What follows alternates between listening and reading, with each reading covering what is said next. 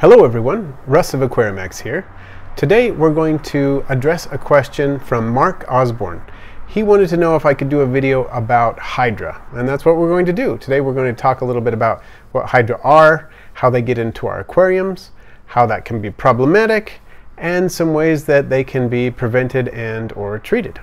So what are Hydra? Well, Hydra are cnidarians, and so they belong to the same group as corals, anemones, gorgonians, sea jellies, creatures like that. And basically they are a tube surrounded by tentacles. The tentacles contain specialized stinging cells that help them to subdue their prey. And it's those stinging cells that make them a problem in our aquariums. The stinging cells are used to capture prey like Daphnia or copepods or other small creatures, but they can also be deadly to small fish, especially fry, and to shrimplets. So let's talk a little bit about how Hydra end up in our aquaria. There are a lot of different ideas on how this works, but I think one of the most common ways that they probably get into our aquaria are through hitchhiking on aquarium plants or other decor. It's possible that they could end up in a bag along with some fish from a, a pet store, something like that as well. But I think aquarium plants is probably the most common way they come in. They could also be introduced along with uh, live food that has been collected in the wild. For example, if you were to collect Daphnia in a lake or a pond, uh, it's very possible that the natural predator on Daphnia could be collected along with those Daphnia. And because uh, Hydra can reproduce asexually, you only need one to eventually have a big problem.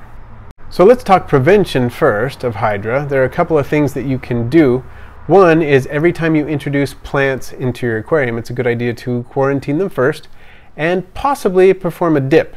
Now I'm going to put some links down to some ideas for how you can dip your plants uh, to be able to help minimize the risk of introducing Hydra into your tank. So check out the description for those links.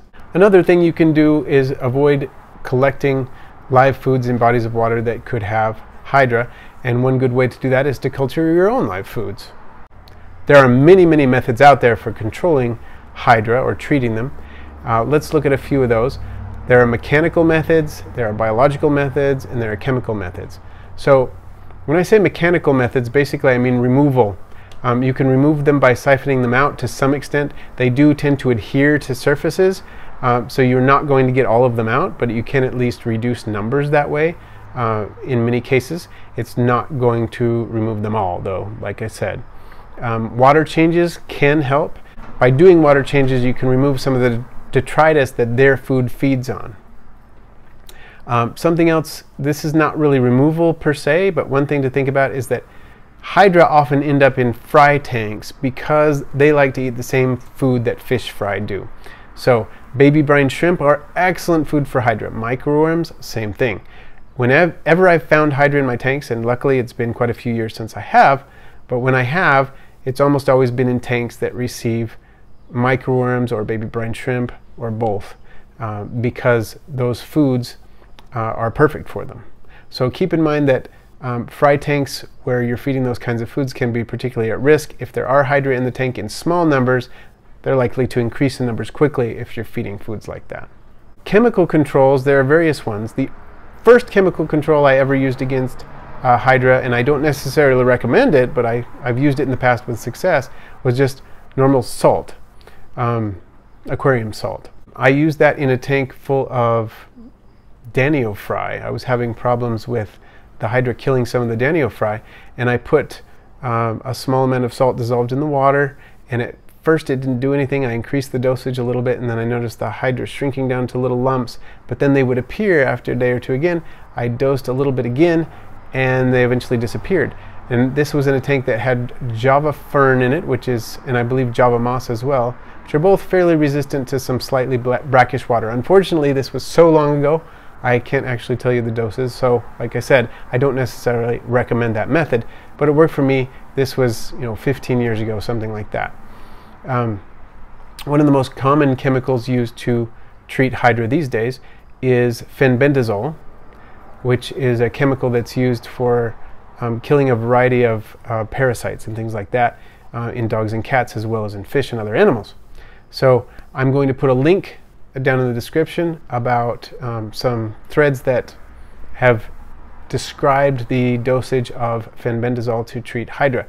Uh, one problem that Mark had is that in his setup, he didn't want to use fenbendazole because it was not necessarily approved for use with food fish, and he had an aquaponic system that he was dealing with. So in his case, fenbendazole would actually not be a very good treatment, even though it is very effective for many people. So that brings us to the biological methods of control of hydra. If you can find an organism that will eat the hydra, that can usually help solve your problem. Some types of snails will eat hydra. I used Limnaea pond snails years ago to help control hydra with success. Um, they may be difficult to get for you or in your particular area. Um, some of the um, Spixi snail hybrids are supposed to eat hydra as well. So you can look into snails as a possible means of hydra control although the only species I've used personally is the Limnaea pond snail. But it, like I said, it seemed to work.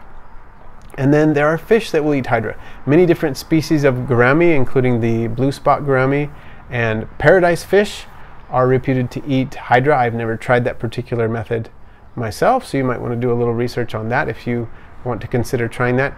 And uh, mollies are also said to be um, hydra predators. So again, I haven't used that method myself, but if you're interested in researching that a little bit, it might be something that you could try. So I hope this has been a good overview of some of the uh, methods of dealing with Hydra, uh, both prevention and treatment. And if you have a method that you have used to control Hydra successfully, please let me know in the comments.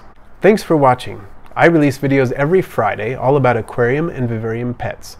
I also do Q&A live streams approximately once a week. If you like this video, please feel free to rate it, to comment, to share it with someone who might enjoy it, and if you haven't already, subscribe. And then click the bell icon so you don't miss any of my future videos.